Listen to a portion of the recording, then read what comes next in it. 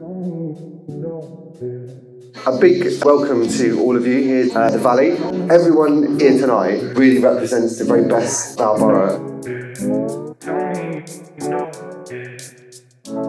Greenwich Health has now administered over 120,000 vaccinations to Greenwich residents, and not one single vaccination could have been done without the support of the volunteers.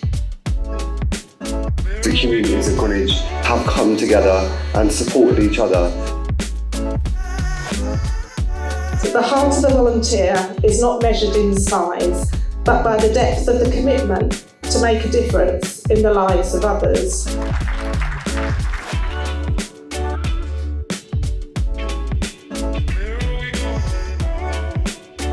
has genuinely been, I think, some of the best experiences and work I feel like I've ever done.